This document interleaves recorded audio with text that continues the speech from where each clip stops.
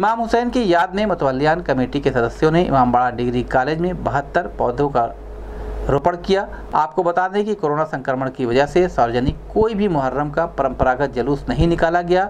इसलिए इमाम हुसैन के नाम पर पौधरोपण कार्यक्रम शुरू किया गया।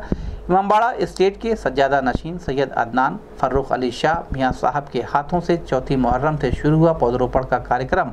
मंगलवार को बहत्तर पौधे लगाकर पूरा किया गया और इमाम हुसैन को याद किया गया।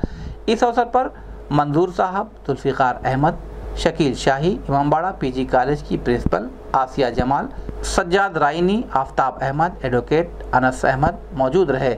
इस संबंध में गोरखपुर न्यूज़ से बात करते हुए संरक्षक, हिंदू मुस्लिम एकता कमेटी के शाकर अली सलमानी ने कहा।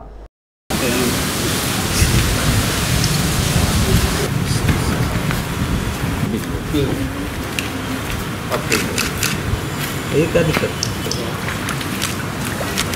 क्या ही डाले।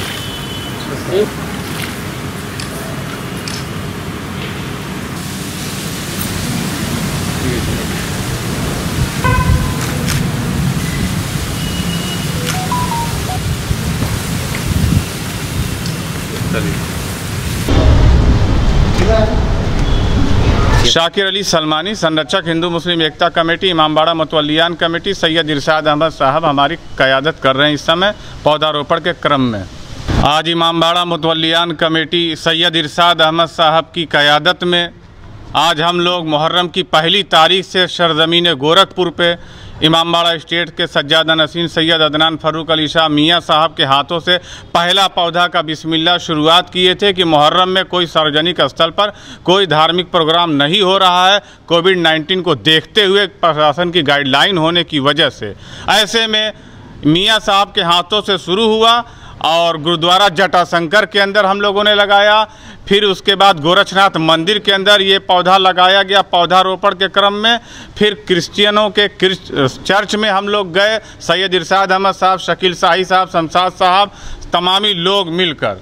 और आज आखिरी कड़ी है, इकहत्तर पौधा अब तक लगाया जा चुका इमाम हुसैन शहीदान करबला की याद में कि क्या हुआ मुहर्रम में जलूस नहीं निकला? क्या हुआ सार्वजनिक स्थलों पे कोई ताज़िया या कोई ऐसा प्रोग्राम जो मुहर्रम में होता था, नहीं हो पाया? हम लोग अपने घरों में इमाम हुसैन की मजलिस सजा कर इमाम हुसैन का ज़िक्र कर चुके, मगर पौधा इसलिए लगा रहे हैं ताकि ये कल घना वृक्ष बने और लोग इससे साया हासिल करें, फल हासिल करें। इसी क्रम में हम लोग इमामबाड़े से यात्रा करके गए थे गोरखनाथ मंदिर। वहाँ पौधारोपण किए। आज बहत्तरवां पौधा इमामबाड़ा स्टेट के इमाम साहब के हाथों से लगाकर समापन कर दिया गया। और इमामबाड़ा स्टेट का मकसद यही है कि पौधारोपण के ज़रिए से तमाम जगहों पर जो वातावरण दूषित हुआ है, उसे शुद्ध करने का हम एक प्रयास कर रहे हैं इमाम हुसैन की याद में।